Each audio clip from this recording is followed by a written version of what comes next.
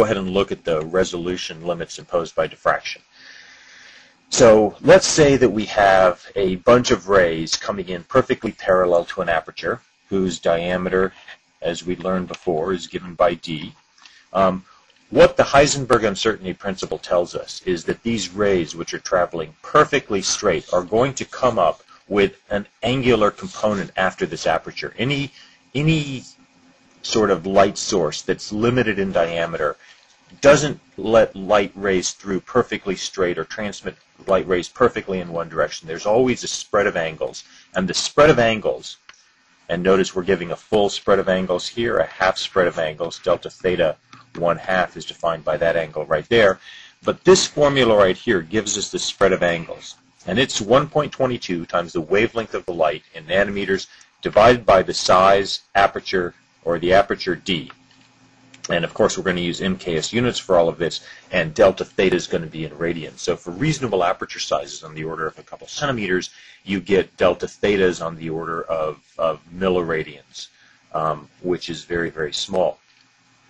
Uh, another, another way to express this is if you have an imaging system um, where the image is formed near the focal length of the lens. So here we have, I have two objects, a red object and a green object, far away from a lens, and the image is going to be formed somewhere near the focal length. Then a fairly good approximation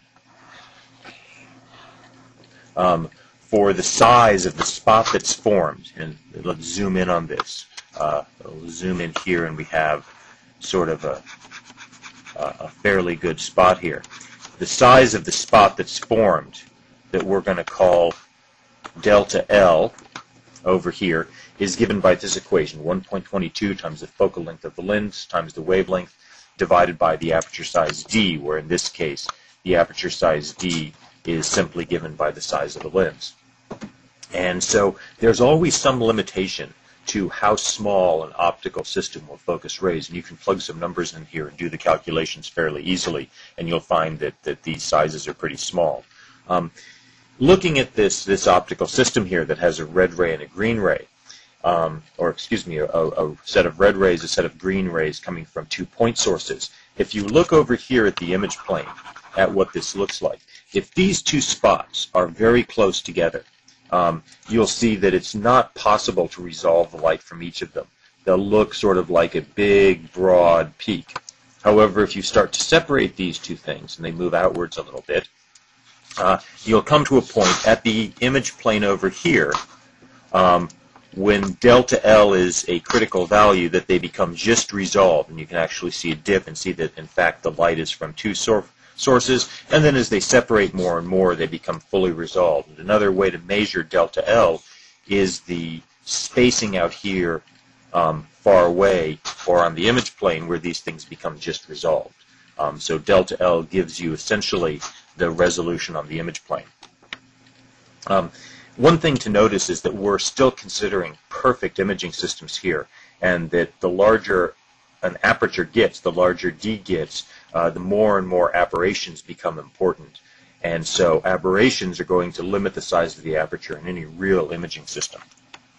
So to conclude, we talk about the first way that we can actually calculate the performance of an imaging system.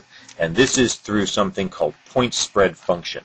A point spread function is just the calculated image of an optical system to a perfect point source of light. And Optics Lab and other programs will do this. It's beyond the scope of the class to do this mathematically for an imaging system by going through the analytic expressions because there's a lot of stuff we haven't covered that's needed to do this. But most, most ray tracing programs will give you a point spread function.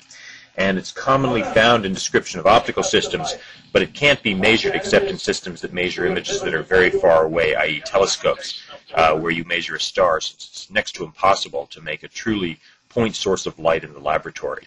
Um, so while it's a very good idea and can be calculated, it doesn't really give you a practical measure that you can, can use in the laboratory to measure systems.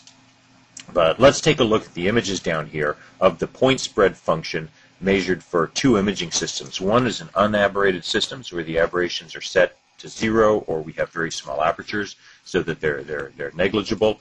And in this case, the point spread function looks like a curve like this. It looks kind of like a Gaussian curve, and if we look at what the image would look like, in an unaberrated system, this is what a point spread function would look like. You see a, a sort of round dot of finite size. This diameter is approximately delta L as we defined back on the, the previous page using this formula right here, where D's the diameter of the imaging system. And that's the best your optical system is ever going to do for a given D and wavelength in F is the smallest this spot can get is delta L given by the limits of physics. However, if we go ahead and, and do a point spread function calculation for an aberrated system, one that has, uh, say, spherical aberration, the point spread function now broadens out and looks like this. And we can essentially measure at the halfway point the size of this and the size of this and determine that, gee, this system behaves worse for point sources than an unaberrated system would. And you see that, in fact, when you get aberrations, the size of this center spot increases, which means you don't have as much resolution of the images. So point spread function can be calculated by most programs. Uh, you can do it long ways by hand, but it's rather tedious. And it gives you a sense of how a perfect point source would be imaged. The more the point spread function spreads out, the worse an optical system can measure a point source, the more aberrations and, and sort of deviation from a good imaging system uh, your system will have.